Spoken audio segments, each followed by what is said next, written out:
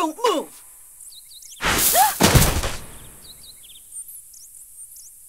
Junior, wait! Junior, that's not an enemy. What? Oh, Shion! Junior, why did you do that? Oh, sorry. I thought you were an enemy.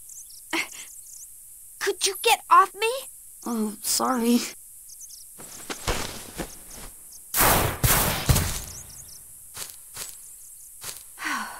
I'm glad everyone's okay. Actually, We can't find KOS-MOS or the crew of the Elsa.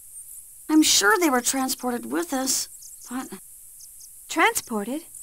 Do you mean a warp transfer? yeah, we don't know where we are yet. But it was probably that light. Oh no.